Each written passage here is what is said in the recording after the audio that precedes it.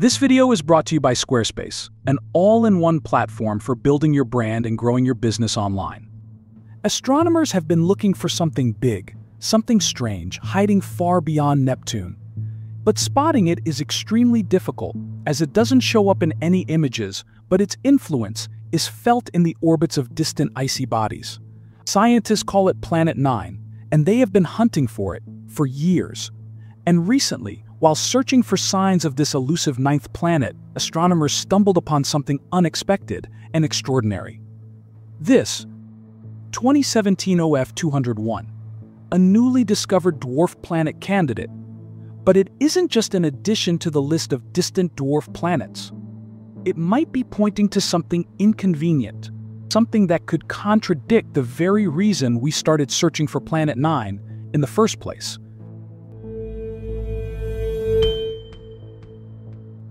Astronomers have just identified what could be a new dwarf planet using observations from the Dark Energy Camera in Chile and the Canada-France Hawaii telescope. The discovery wasn't made through a single lucky image, but by carefully analyzing seven years of archival data, which revealed 19 separate detections, enough to reconstruct its orbit. And once they mapped it out, they found the object follows an extreme orbit, 2017 OF201 travels in a long elliptical path around the Sun. At its closest, it comes in at about 44.5 astronomical units, just a bit beyond Pluto. But at its farthest, it swings out past 1600 astronomical units. For scale, that's over 50 times farther than Neptune, and one orbit takes about 25,000 years.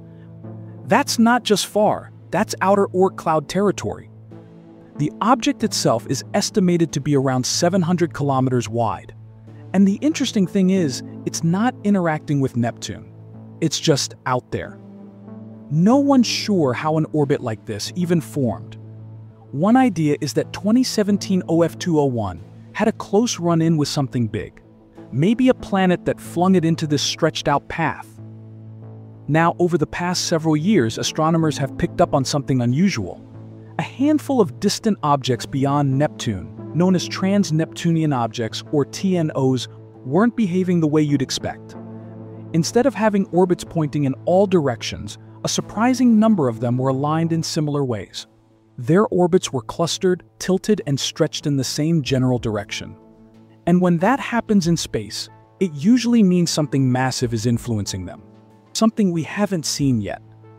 One idea was that a giant planet, five to ten times the mass of Earth, was out there disturbing their paths. That's where the whole Planet 9 theory comes from. But here's the twist 2017 OF 201 doesn't follow that pattern. Its orbit is totally out of alignment with the others. And that is a problem. Because if Planet 9 exists, and if it's the reason for the orbital clustering we've seen, then objects like OF 201 shouldn't exist at least not in a stable orbit like this one. In fact, simulations show that if you add Planet 9 into the model, OF201 gets kicked out of the solar system within 100 million years. So now we have a contradiction. Either this object is a fluke, or the Planet 9 model needs serious revision. And it doesn't stop there. 2017 OF201 spends only about 1% of its orbit close enough to be seen, which means we may have just caught it at the right moment. And if that's the case, it could be just the tip of the iceberg, suggesting there might be dozens, maybe even hundreds, of other objects out there with similar orbits and sizes still hidden in the dark. Right now, the dwarf planet is relatively close to the Sun in the sky, from our point of view on Earth. That means the researchers need to wait about a month or so before they can conduct follow-up observations and they are also hopeful that they can eventually secure some time to scan the object using the James Webb Space Telescope. Till then, the possibility of Planet 9's existence is still on the table. Here's how. The simulations only used one specific location for Planet 9, but not all scientists agree on where the hypothetical planet lurks. In fact, Konstantin Batygin, one of the scientists who first proposed the existence of Planet 9, says that the discovery of 2017 OF201 doesn't prove or disprove anything. Speaking with NBC News, he said, the objects in the outer solar system that are likely to show a footprint of Planet 9's gravity are the ones where the closest points on their orbits around the Sun are still distant enough that they don't strongly interact with Neptune. This one, unfortunately, does not fall into that category because its orbit is very chaotic. Meanwhile, Sihao Cheng, who led the discovery of 2017 OF201, said that he has not abandoned the hope of finding Planet 9, as the whole project started as a search for it. So if you're holding out hope for a ninth planet in our solar system, don't give up just yet. In fact, a team of astronomers at National Tsinghua University in Taiwan may have cracked the code with an unexpected approach and could be closer than ever to its discovery. Before that, let's quickly hear from today's sponsor, Squarespace, which offers the best tools for easy website design. With their AI-backed design intelligence, creating your unique digital identity is fun, effortless, and quick. Their website design system called Fluid Engine lets you customize every design detail with this extremely helpful drag and drop technology. Squarespace also has built-in analytics so that you can easily track who's coming across your new page. Check out squarespace.com for a free trial. And when you're ready to launch, head to squarespace.com/territory to save 10% off your first purchase of a website or domain. So the object itself likely is more massive than the Earth, probably a little bit less massive than Neptune. It sits right in between that terrestrial to giant icy planet range. Its orbit, unlike the orbits of the known planets, is not nearly circular and. Instead, it is exceptionally wide, 20 times bigger than the orbit of Neptune. It's just a tiny speck, a faint dot hidden in old telescope data from two sky surveys taken 23 years apart.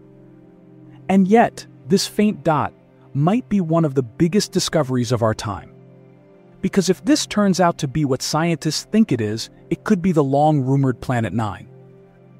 But why do astronomers even think Planet 9 exists in the first place? In 1781, an English astronomer named William Herschel was scanning the sky with a telescope he built himself. He was looking for comets, but instead, he stumbled upon a new object that didn't quite behave like a comet. Over time, astronomers realized this object was orbiting the Sun like a planet, slow, steady, and distant. They named it Uranus. But with more observations, astronomers realized Uranus didn't move the way Newton's laws said it should. Its orbit wobbled, just slightly, but enough to raise eyebrows.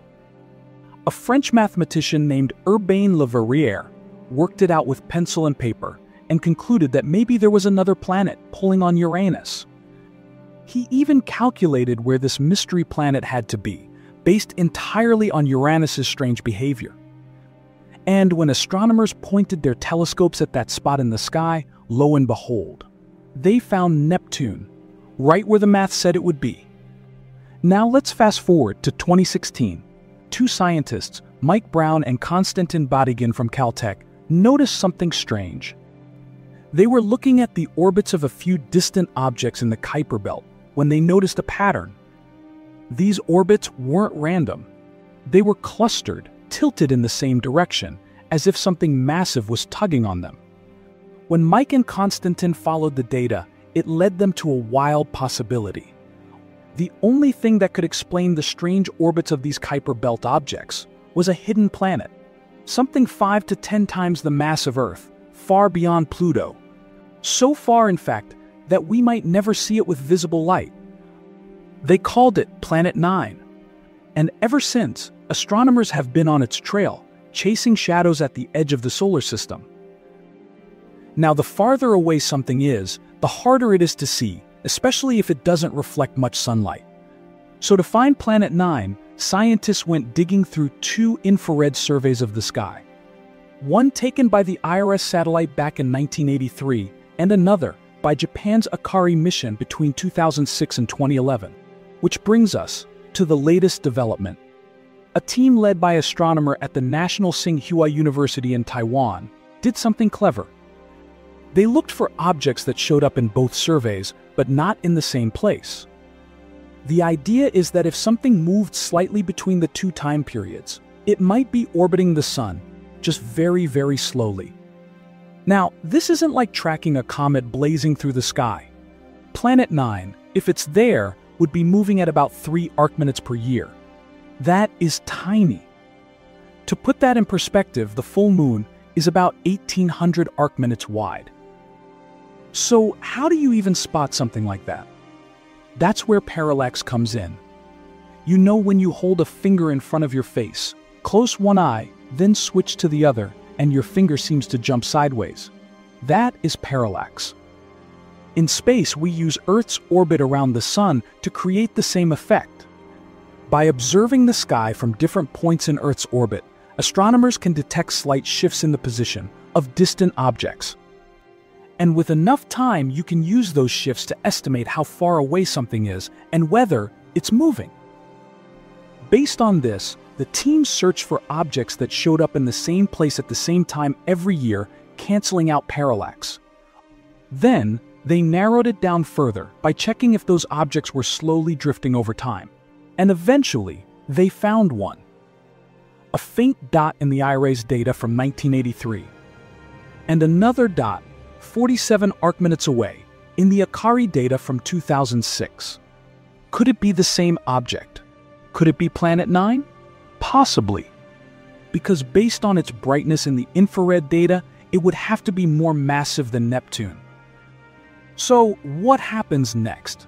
Well, if we know roughly where it was in 2006, we can try to spot it again with powerful optical telescopes.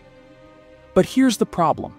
In the years since Akari spotted it, this object would have moved. And we don't know where, but we do have tools that can help. The Dark Energy camera in Chile, for instance, has a wide enough field of view to scan the right region of sky. And soon, the Vera C. Rubin Observatory will come online, offering even deeper and broader surveys of the sky. So it's possible, even likely, that if this object is real and still glowing faintly, we'll see it again. But not everyone is convinced. Mike Brown, who helped propose the Planet 9 theory, took a look at the data himself. And while he doesn't rule it out entirely, he's skeptical, because the orbit of this candidate object doesn't line up. Planet 9, as predicted, should have an orbit tilted about 15 to 20 degrees from the plane of the solar system. This new object's tilt looks more like 120 degrees. That means it's not just tilted, it's orbiting in the opposite direction from most planets. In Brown's words, that doesn't mean it's not there, but it means it's not Planet 9. What do you think? Just because we found something unusual doesn't mean it's the thing we've been looking for. Either way, one thing is clear.